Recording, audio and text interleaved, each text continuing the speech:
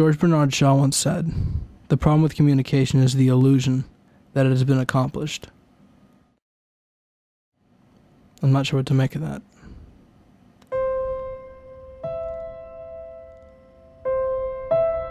But one thing is certain everyone has something to say.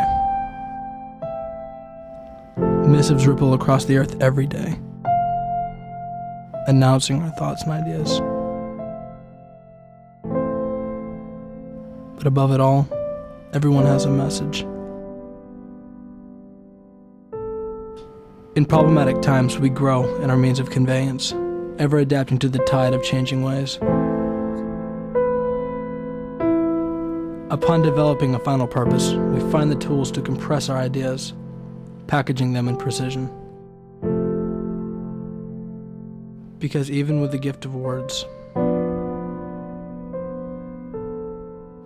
it's important to choose the right wrapping.